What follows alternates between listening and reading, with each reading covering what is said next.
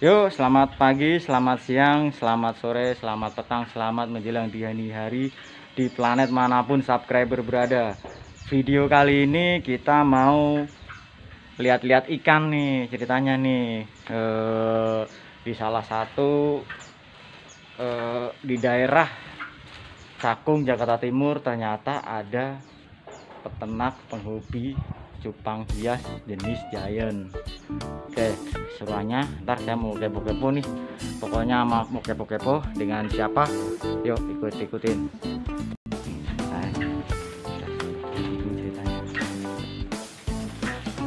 Eh, Assalamualaikum Waalaikumsalam. oh yang empunya ke mana bang Lagi di dalam. Wah, bang Dwi ternyata bang Iya. lagi ngapain bang Ini lagi lihat-lihat ikan giant. oh ini. ikan giant Mm-mm. Wah, iya ya ini saya dapat ini nih di sini di Cakung ternyata ada breeder giant ternyata ya, Bang. Uh, Iya. nggak nyangka saya, Bang.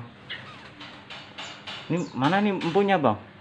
Yang Si punya- bosnya mana? Iya, yang punya, Bang. Iya, lagi di dalam dia. Oh, lagi di dalam. Heeh. Ini Oh, mau tempo.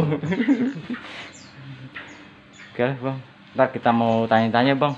Ah, ah. Ntar aja kalau orangnya ke sini. Heeh, sip. Jangan lupa tekan tombol like, tombol subscribe, dan bunyikan lonceng agar tidak ketinggalan video-video selanjutnya. Assalamualaikum. Waalaikumsalam. Apa kabar? Eh, Mas saya. Iya, Pak. Siap. Pak Budi, alhamdulillah kameramen. Mm, Pak.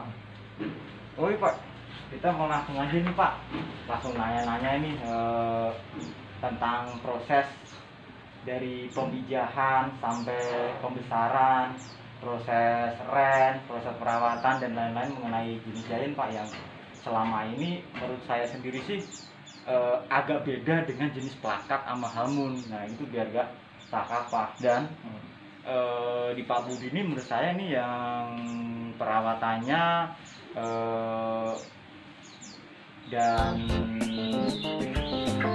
tentang jahin dah pokoknya deh langsung aja ke video Pak ini saya lihat nih aneh-aneh bedain Pak Bapak itu Bapak mulai kenal apa ya Pak menggeluti dunia cupang kok bisa tertarik cupang lah lebih lanjut Pak Hmm. kenapa itu Pak ceritanya awal mulanya Pak Ya, jadi saya ke Thailand kira-kira September tahun lalu ya. iya Pak September tahun lalu ke Thailand.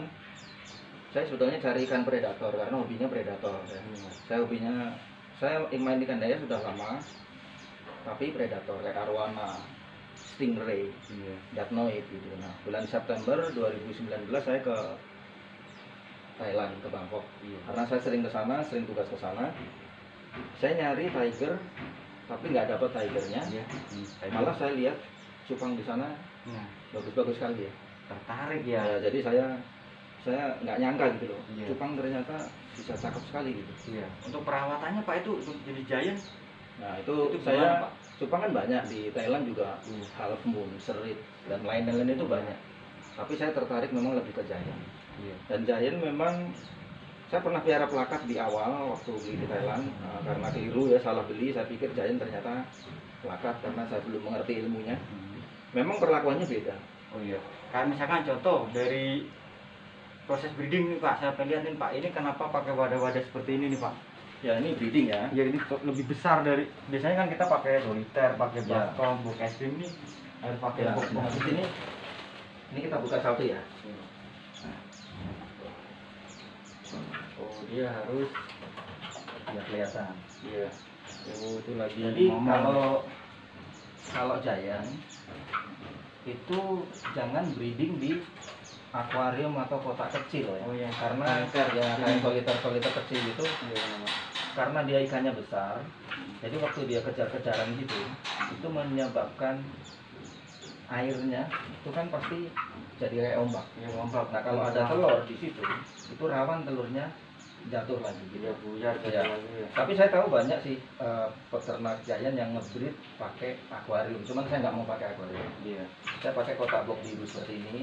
Ini kira-kira ke sananya sekitar 50, sininya sekitar 30-an gitu ya, tinggi 20-an. Nah, saya pakai ini, kemudian saya kasih daun pisang. Daun pisang ya. Oh Ya. itu yang itu Ya, itu daun pisang. apa itu fungsinya daun pisang Pak?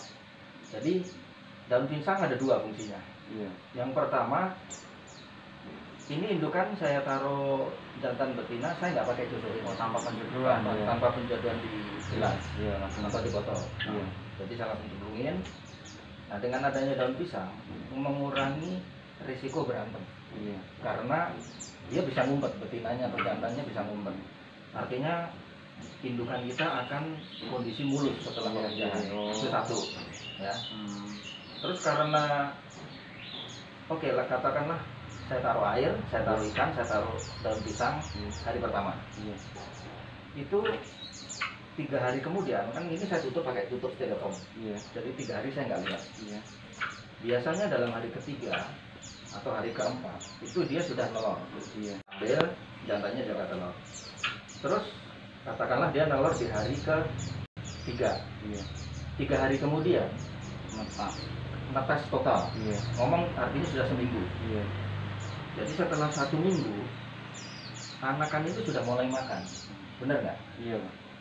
Nah, setelah satu minggu juga si daun pisang itu sudah menimbulkan infusoria. Iya, infusoria Ya, tanpa kan suka bikin infusoria dari daun pisang kan, Iya. taruh toples. gitu.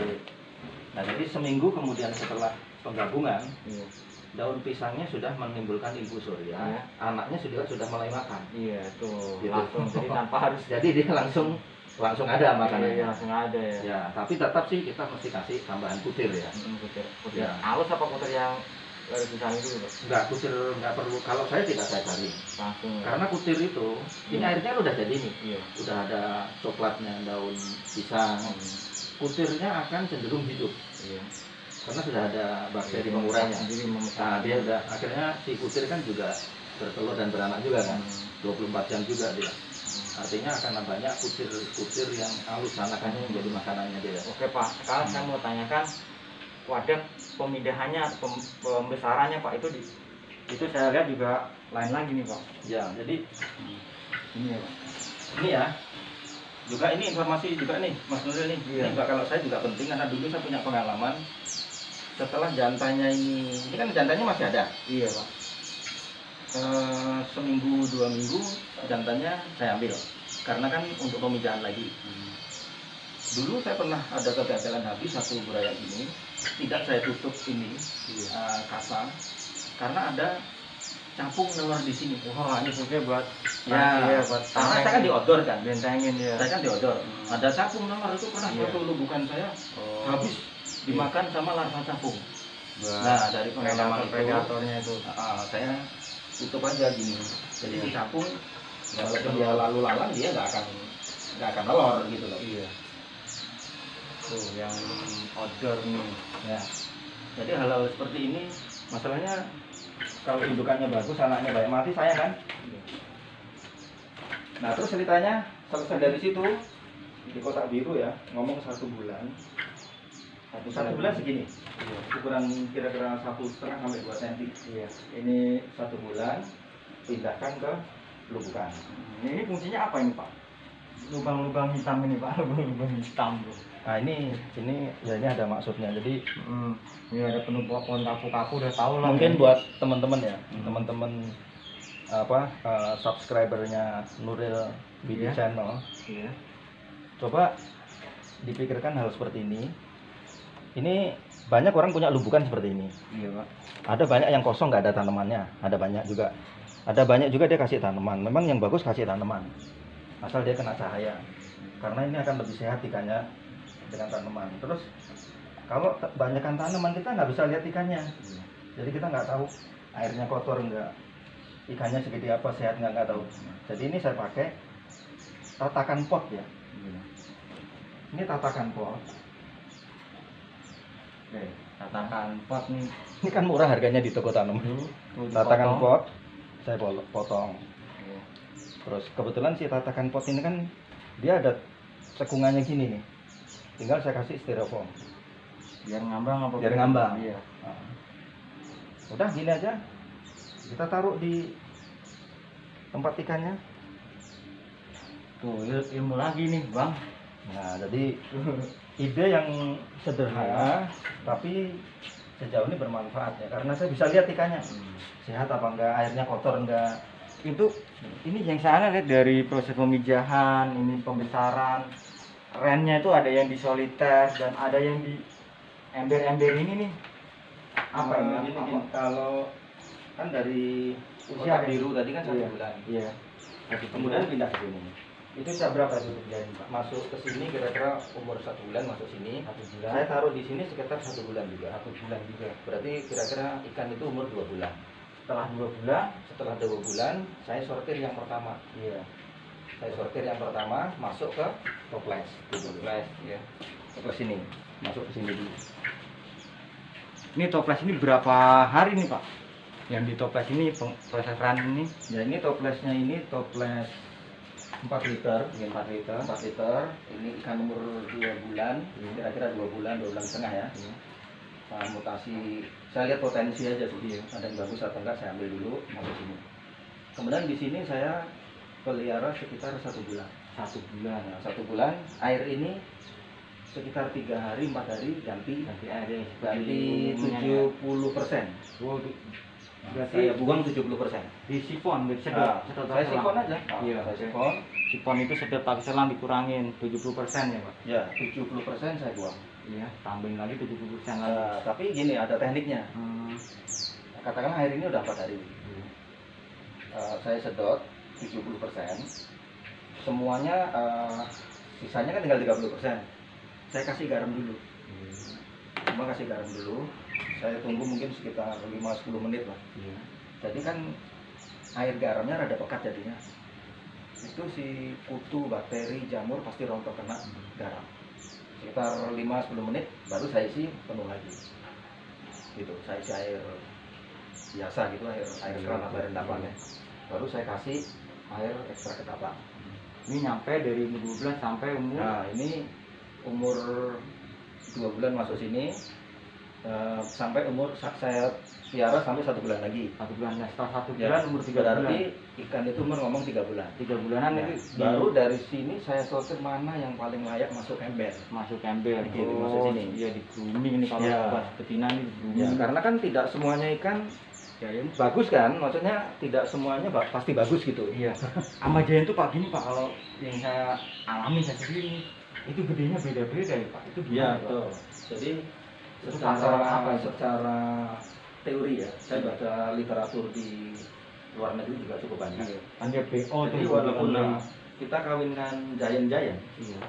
itu sekitar 50-60 persen potensinya giant. Iya untuk bodinya Ah, Iya, iya. potensinya giant. Yang sekitar 30-40 persen itu dia geno Geno Nah, jadi lebih gede dari plakat. Oh. tapi tidak segede giant oh Geno itu ya lebih gede dari plakat dan tidak segede giant tidak beda Iya. bodi ya. itu pasti ada jadi tidak Hmm. mungkin 100% anakan giant itu bodi Pasti giant, giant semua, iya, itu tidak giant. mungkin. nah kemudian bagi yang besar-besar itulah yang disortir tahap satu tadi masuk toples dari toples pun kita sortir tahap kedua masuk ke oke ini yang masuk sini hanya yang sudah saya eh, perkirakan akan besar dan akan bagus Wah, great berarti ada grade great mas Nah, yang masuk ke sini pun juga nanti kan pasti terpilih menjadi ada grade A dan B juga kan. oh Gitu. Mas. Jadi intinya kemudian saya piara di sini sekitar ngomong dua bulanan. Oh itu kalau itu yang khusus itu gimana Pak? Sendirian Pak di toples gede banget. Itu buat gimana itu Pak? Di akuarium. Iya, Oh ini akuarium ini. iya Pak. Jadi ini akuarium ini kan saya tuh hobis ya. Jadi Iya. istilahnya ya kita semua hobis ya. Cuman saya seneng bikin scaping. Jadi ini saya bikin scaping aja. Sebetulnya simple sih aquascape sederhana pakai eh, kayu bakau kasih anu bias. Untuk saya ini fungsinya dua Mas Nur. ya. Yang pertama saya tonton ikannya. Karena ikannya ini sudah sekitar umur 5 bulanan, BO 5 lebih, udah enak dilihat gitu loh. Ini kan saya sekap dua. Jadi saya nikmati ikannya. Uh, Nah. itu hobi hati bang. Makanya ini Hobi tuh kayak gitu tuh, jangan. sampai kasih lah tuh lampu, Iya. ada filter. Jadi saya nikmati. Tuh di layar yang ini, tuh kayak kondisi itu. Terus yang-. Kedua, fungsi dia yang kedua, itu kan ada heater. tuh. Saya setting di 32 derajat. Tujuannya kalau ada ikan sakit, nah, ikan sakit misalkan jamur atau pop eye oke ya. Atau eh, pokoknya sakit lah ikan Iya. sakit kita cemplungin sini sekitar satu minggu pengalaman saya sembuh. Pasti sembuh pengalaman saya. Kenapa? Karena ilmu bro. Heater 32 derajat itu. Oh, jadi ini air yang semua di sini ini suhunya kira-kira 25 sampai 27 oh iya pak saya tanya gitu Ya. suhu airnya 25 sampai sampai 27 27 nah, ini musim menjelang musim kemarau ya. Hmm, itu 25 sampai 27 cukup dingin lah. Iya pak. Ini airnya anget 32 derajat.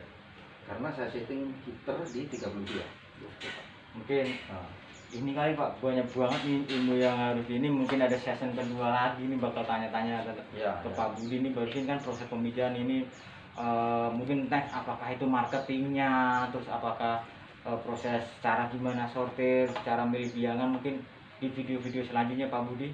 Makasih banget atas ilmunya karena Ya. keterbatasan waktu ya. Biar gak lama-lama gak bentar pada bosan tak subscribe ya. Iya subscribe like. Like dan share.